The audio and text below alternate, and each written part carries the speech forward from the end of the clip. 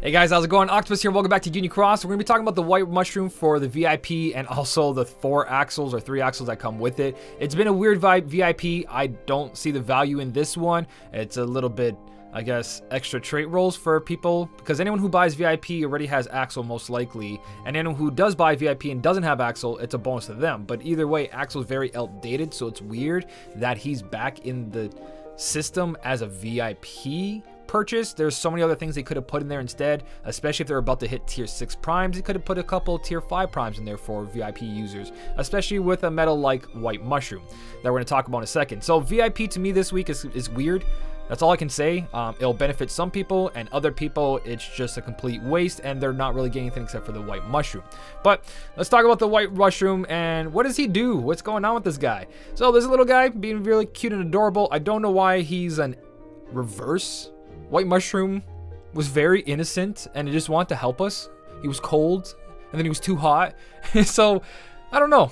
I, I, figured he'd be like a nice upright when I first saw him, but he is a reverse. He is an enemy. He isn't heartless, so yada yada yada. It's a it's a dark border. But what does he do? So for one turn, he overwrites your PSM defense by plus four. So he's a tanking medal, but he has overwrite with that, and then he also overwrites the target's PSM strength negative two. He's one of four medals that do this in the game for PSM strength. All three of them together. So that means power, magic, and speed. The enemy's attack will go down for that by two, and he restores HP and gauges plus five. So, uh, well, let me before we jump into it, do not make this medal a seven star. There is no point, no point at all. Six star, 4.98 damage. Seven star, 22 multiplier. Weak, very weak, okay? He is not an attacking enemy, and that's why I said he should have been an upright, this cute little bastard. But let's talk about what does he sound like? He sounds like a Kairi, and he sounds like a Xion. Kairi, restores HP, increases gauges, but does so much more, and also lowers the enemy's attack by 2 with an override ability. Same thing with Kairi, but Kairi does the upright version of everything. She has the gauge restore pluses, she's got HP increase, all that good stuff, and she lowers the enemy's attribute strength down by 2. But these Kairis and Xions don't do anything about your defense, where this guy does. So again, he's tanking. So since there is no value for that negative 2, because you guys should be using Kairis and Xion, and if you're not, then you're most likely using a Foreteller or Stained Glass. And if you do need a tanking medal, you also have yourself Mrs. Incredible if you didn't skip on her. She's got negative 7 general attack down, along with negative 2 uh, attribute strength down as well. That's for one turn. So you already have four medals in the game that lower all three of them in one cast. So what does he compare to when you look at the Foreteller? So let's just say the enemy is going to be lowered by two power strength down once this loads. So we have one of the foretellers here, HD Invi EX Plus. She does three attribute strength down for power, and she also raises your defense up by seven for power. So if you are facing a specific enemies, these foretellers do a little bit better um, actually, a lot better unless you have, well, you can't even do extra attack on these guys. I was going to say if you have extra attack, but that's overwrite. So no matter if you have extra attack or cast this medal twice with copying or having two copies, it'll always be four and two. They don't want to go any further than that two and three at the moment because it's very powerful to lower the enemy's attribute attack down. It's also one of the newer uh, mechanics in the game. So you have here Aced and Ira, who lower, again, 3 speed strength down, 7 speed defense up for you. Same thing with Ira over here. Same exact thing, 3 down and 7 up. And then, of course, you go into the magic one, and you got yourself HD Gula, which is 3 magic down and 7 magic up. So you already have a couple medals in the game that you guys might have pulled for or not pulled for that already outshine this guy when it comes to specific attributes. But again, he is the first medal in the game to do both. He does both of them for all three. He raises defense up by four for all three attributes, and he lowers uh, attribute strength down by two for all three. So he is the only one that does both of those in one medal, not at maxed out, not at seven, but he does both of them in one cast. But that's not really important, like I said, when you compare it to Kairi's and Xions on your Keyblade setups, because they lower all three attribute strength down two, and then you just bring yourself one of these medals and you're good to go because Demyx, we all know, is the tank god in this game. Demyx does 7 general defense up for us and 7 attribute uh, defense up for as well. It's not overwrite, but you got five turns worth of this, meaning this medal has future value for a very, very long time. Even if you don't have extra attack on this medal, that carries over five turns. So on the first turn, if you don't fully do it, you got second chance and HP recovery for two turns before this kicks in to overwrite everything. Now, overwrite will be more powerful when enemies that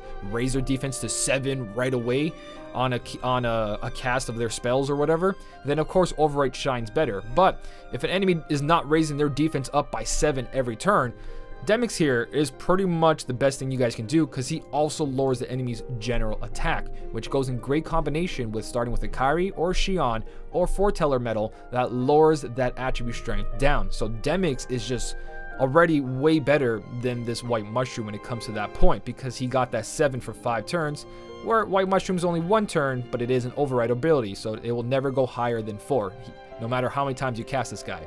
So, Demyx already does better.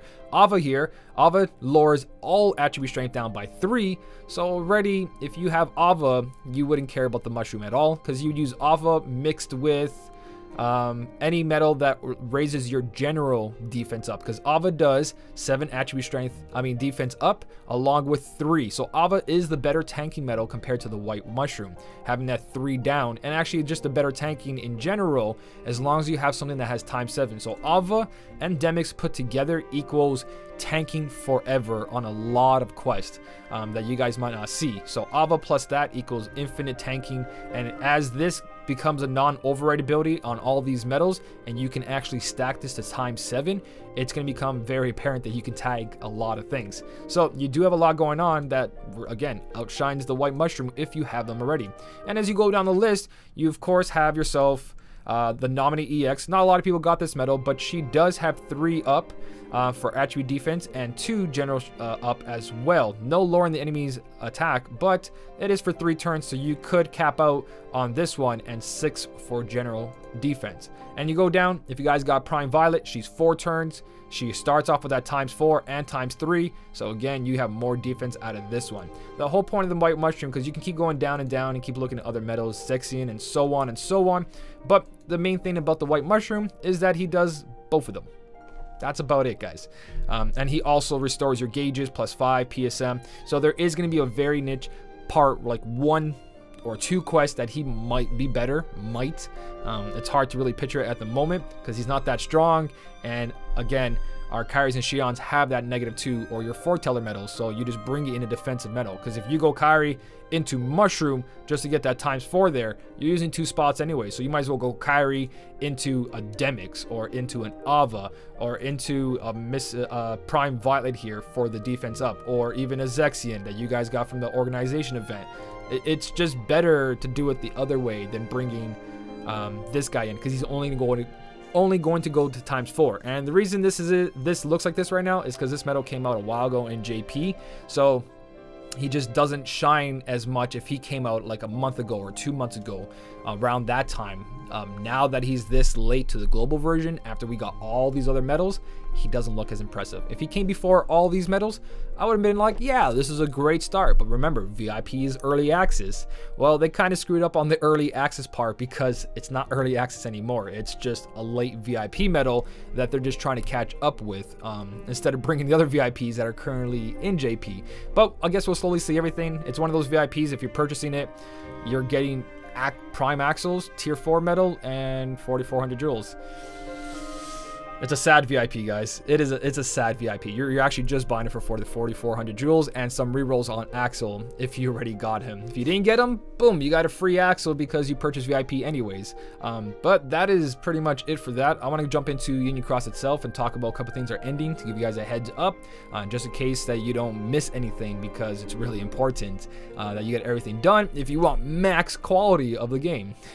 Alright, things that are ending, starting off with Union Cross. You have today, tomorrow, and that's it. After that, this resets on November 1st, and you guys have to clear these boards if you want the magic mirrors, if you want the Mickey and brooms, so on and so on. There's a lot in here that you guys shouldn't skip out on.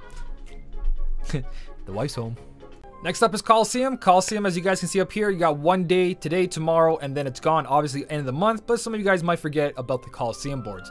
Don't forget to collect your Coliseum boards as you're going through this, because a lot of people just charge through Coliseum like, okay, I made my ranking, I'm good, and they forget to collect these boards. There's Magic Mirrors, Chip and Dale's, and of course, a free avatar every month. Also, as you complete the tiers, there is a Moon Gem in here, so don't forget about that. Coliseum has everything going on for it. And even Making Brooms now. Or it's not Making Brooms, Magic Brooms. And that one for completing tier 15. So don't forget to complete this before the month ends. There's freebies in there, especially the Moon Gem that has really high value right now because there's just not enough in the game.